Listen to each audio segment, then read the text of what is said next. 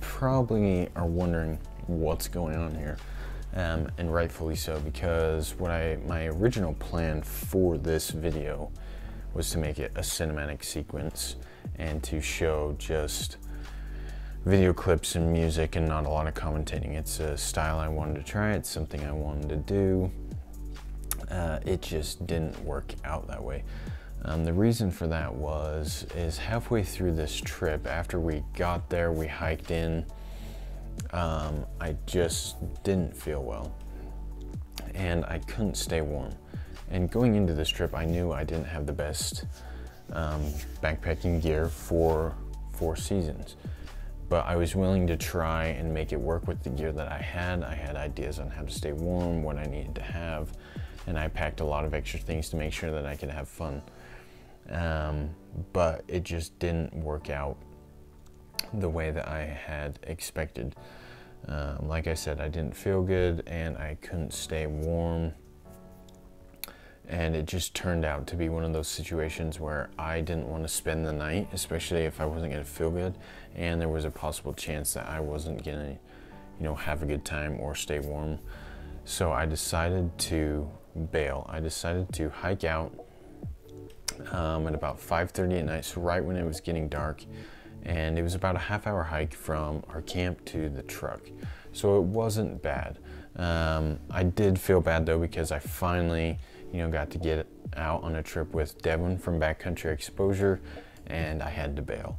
Um, but things happen, fails happen. That's part of this backpacking experience is figuring out, you know, what your limits are and going to those limits and then figuring out ways to continue to push past those limits with proper gear, proper training, experiences, and whatnot.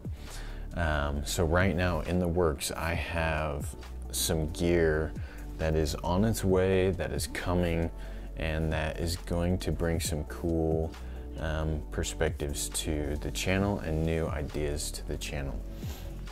So I hope you guys enjoyed this short little clip and realize that there's always going to be fails when it comes to things in the outdoors. I experience it and you can still have a lot of good times with this. Um, Corbin with the Wasatch Gear Review was there. I got to hang out with him again. He's an awesome dude. Melanie was there, and there's a couple others that showed up right as I was leaving that. Unfortunately, I didn't really get to meet that much, but I'm hoping that some other time I can get to know them more because they are also on YouTube. Um, so, yeah, make sure to stick around for the channel. There's a lot coming to the channel. Um, like I said, there's some gear on the way. There's some new backpacking styles and things that I'm gonna try, especially here in winter. It's kind of, there's a new winter setup in the works right now.